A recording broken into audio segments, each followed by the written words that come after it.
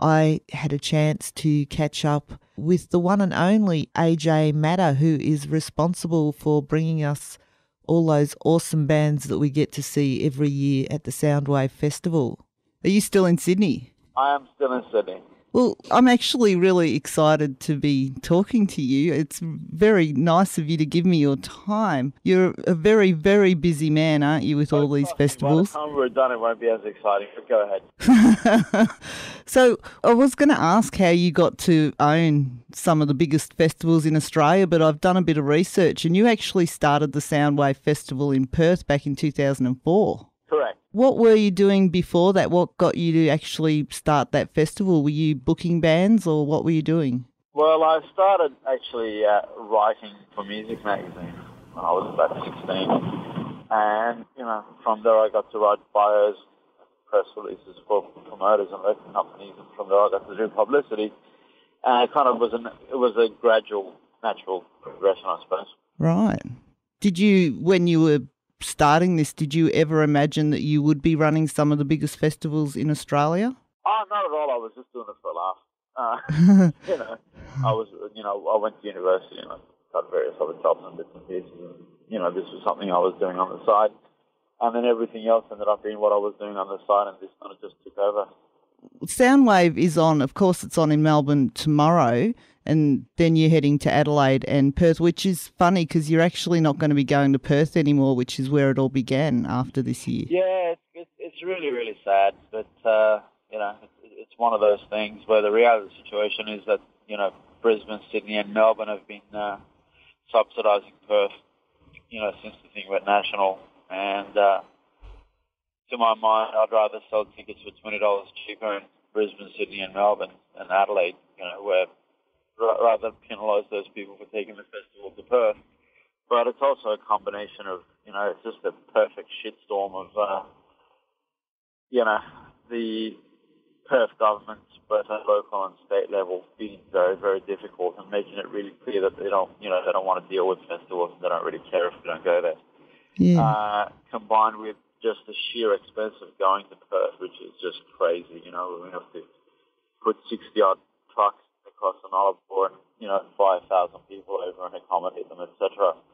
Combined with the fact that, uh, you know, there is a so-called mining boom over there, which is good for the, you know, 4 or 5% of the population that actually work in the mines or the people that are involved in the mining industry, but effectively driven the price of housing and everything else astronomical for the rest of the people who aren't involved in mining.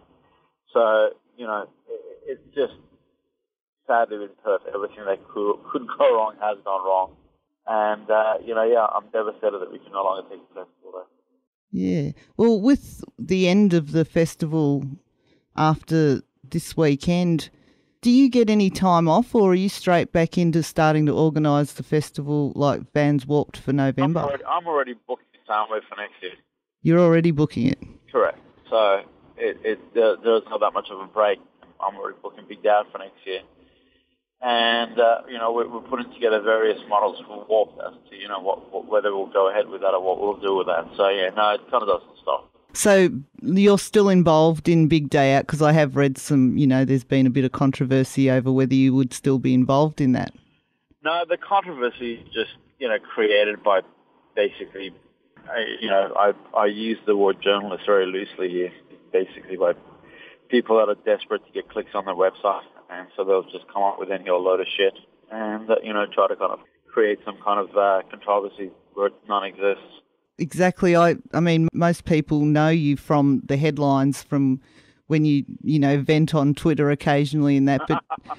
But if people watch your Twitter, like I actually stalked your Twitter a little bit during the Brisbane and Sydney Soundwaves, and yeah it amazes me that, for one thing, I'm not sure if you actually sleep at all because you seem to be on there most of the night. And you talk to people, you look after the kids who go to your festivals. If they're having problems, you send your assistant to help them. And well, look, you know, I was one of those kids, so I completely understand. You know, if anyone's got an issue or a situation, we try, to, you know, we do our best to help them.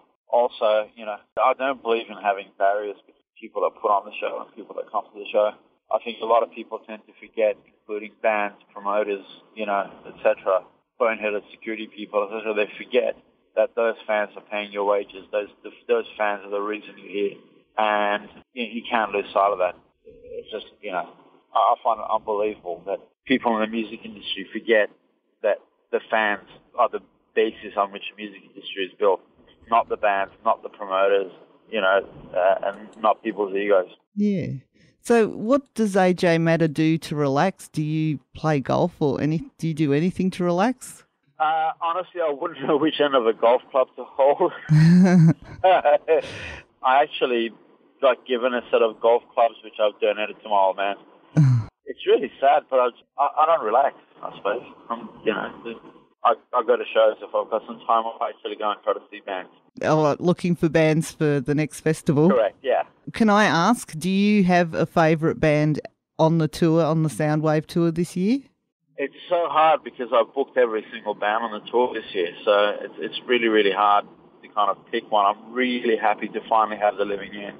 This has been like 10 years in the making trying to get the Living End on Soundwave, so to have them this year is really really special um, shows have been going on a treat. But no, there's so many bands, so many great bands.